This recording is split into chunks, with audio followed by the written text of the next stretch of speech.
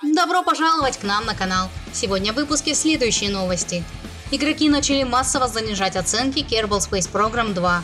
Helldivers сняли с продажи в большом количестве регионов в магазине Steam. Игроки League of Legends столкнулись с проблемами из-за античит системы и многое другое. Kerbal Space Program 2 подверглась ревью-бомбингу в магазине Steam. Согласно информации, пользователи начали массово оставлять отрицательные отзывы проекту, а также отговаривать других от его покупки. Причиной такой ситуации стало появление слухов о возможном закрытии студии разработчика Intercept Games. В своих комментариях игроки называют ситуацию мошенничеством, отмечая, что в тайтле до сих пор мало контента и нет большей части того, что авторы обещали при запуске. Тому же он все еще находится на этапе раннего доступа, но при этом продается по цене полноценной игры. Ранее Take-Two сообщала, что поддержкой Kerbal Space Program 2 будет заниматься издательское подразделение Private Division. Однако позже появилась информация о том, что и в нем также прошли сокращения большей части штата. Других подробностей пока нет. Разработчики Apex Legends выпустили геймплейный трейлер предстоящего сезона «Искажение», а также поделились подробностями о грядущих изменениях, которые появятся в проекте. В частности, стало известно, что ключевой особенностью патча станет одиночный режим. Его можно будет опробовать до 24 июня. Появится новый персонаж Альтер. Среди ее способностей – возможность видеть содержимое контейнеров смерти и создание порталов, проходящих сквозь поверхность. В игру также добавят настраиваемые артефакты, которые можно будет улучшать при помощи специальных компонентов. Еще вернется карта «Расколотая луна», но в значительно измененном визуальном стиле, с новыми областями, подземными ходами и дополнительными маршрутами. Напомним, запуск сезона искажения должен состояться в Apex Legends во вторник, 7 мая. Nikon Studio Milan поделилась новой информацией касательно предстоящего проекта в жанре выживания Terminator Survivors – Информация появилась в сообществе разработчиков Steam. В рамках материала рассказали следующее. Игра будет доступна для прохождения в офлайн режиме. Пользователям обещают полноценную сюжетную линию с побочными арками, необязательными квестами и большим количеством NPC. Команда не планирует добавлять PvP. Вместо этого в тайтле будет кооперативный онлайн, о котором сообщалось ранее. В роли главного антагониста проекта выступит Т-800, постоянно преследующий выживших. В начале основной кампании игрокам станет доступна небольшая база, которую можно будет расширять за счет постройки дополнительных зданий и улучшения существующих. Для исследования мира откроются несколько видов транспорта. Помимо этого, ближе к выходу Terminator Survivors в Steam Early Access пройдет закрытое техническое тестирование. Напомним, релиз проекта должен состояться на ПК 24 октября, но в формате раннего доступа – а полноценная версия также появится на Xbox Series и PlayStation 5. Sony объявила об обязательной привязке аккаунта PlayStation Network для игры в шутер Helldivers 2 через Steam. Компания уточнила, что до текущего месяца процедура была опциональной из-за наличия неких технических проблем. Теперь же, начиная с 6 мая, она будет необходимой для всех игроков тайтла на площадке. Текущим пользователям платформы будет регулярно показываться окно с предупреждением о необходимости связать аккаунты до 4 июня. В самой компании отметили, что эта процедура призвана повысить безопасность, а также позволит блокировать нарушителей. В то же время игроки массово раскритиковали решение, отметив, что в ряде регионов создание аккаунта PlayStation Network физически невозможно. Многие начали оставлять отрицательные оценки в игре в Steam, отмечая, что если Sony не изменит решение, они потребуют возврата средств за игру. Компания ситуацию никак не комментировала, в то время как разработчики из Arrowhead Games в своем канале Discord принесли извинения и сообщили, что это было не их решение и что на данный момент они не в курсе всех региональных проблем. Помимо этого, авторы посоветовали тем, у кого нет возможности связать аккаунты Steam и PSN, обращаться в техподдержку Sony, пока они сами будут пытаться добиться отмены этого требования или же искать другое решение. Однако в ночь на 5 мая Helldivers 2 была снята с продажи в Steam в более чем 170 странах мира.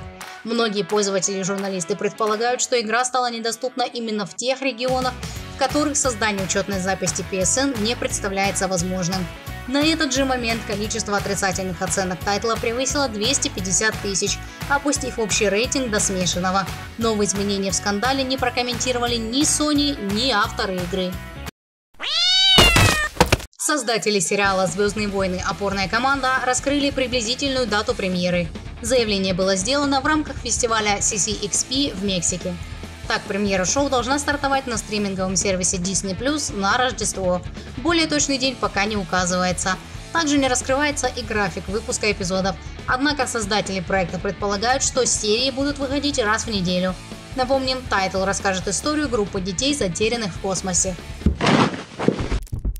Разработчики проекта Смута выпустили дорожную карту пострелизной поддержки. Всего на текущий момент у команды запланировано 5 крупных обновлений и одно дополнение. Каждый из патчей также получил название. В частности, стремительная атака добавит улучшенную динамику боя и упор на блокирование атак. Ответный удар внесет усовершенствованную систему парирования, переработанную механику дальнобойных атак и повышенную сложность боев. Истинная угроза Вместе с ним появятся изменения в прокачке боевых умений при помощи артефактов, обновленный искусственный интеллект врагов в групповых боях и уникальные способности для боссов. Темный лес. В нем доработают многие механики, систему штрафов и бонусов, зависящую от времени суток, а также улучшат стелс. И, наконец, другая история. В этом патче появятся переделанные диалоги и корректировка нарратива. Из дополнений ожидается аддон под названием «Земский собор», Согласно описанию, это политический триллер, события которого будут разворачиваться в 1613 году. Сюжет расскажет об интригах и закулисной борьбе в Боярской думе. На данный момент точные сроки выхода каждого из обновлений не указываются. Издание The Hollywood Reporter сообщило о перезапуске серии фильмов «Бегущий в лабиринте», основанной на книгах писателя Джеймса Дэшнера. Производством занимается кинокомпания 20th Century Studios – Отмечается, что на роль сценариста сейчас рассматривается Джек Паглин, а автор оригинальной трилогии, режиссер Уэс Болл, выступит в качестве продюсера. Новая лента не будет пересказывать уже известную историю, но при этом возьмет из нее лучшее. Других подробностей пока нет. Напомним, премьера самой первой части серии состоялась в 2014 году.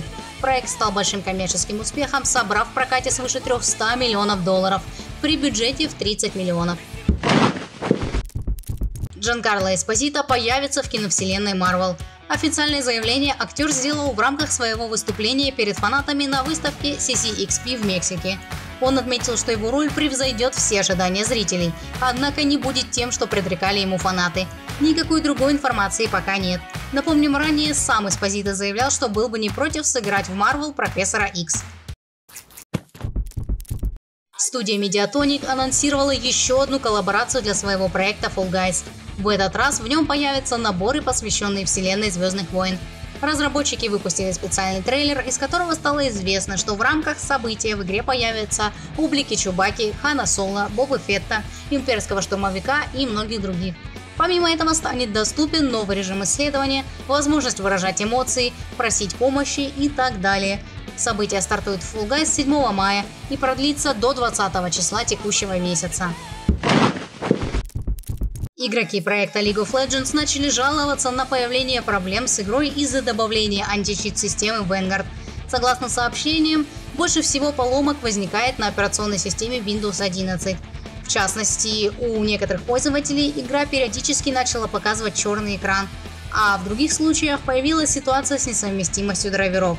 Она была спровоцирована тем, что ранее для установки Windows 11 пользователи намеренно обходили высокие системные требования – Однако теперь им либо придется вносить изменения в BIOS вручную, либо возвращаться на Windows 10.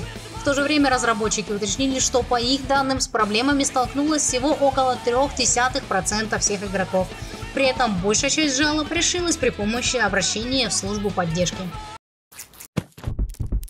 Большое спасибо, что досмотрели до конца.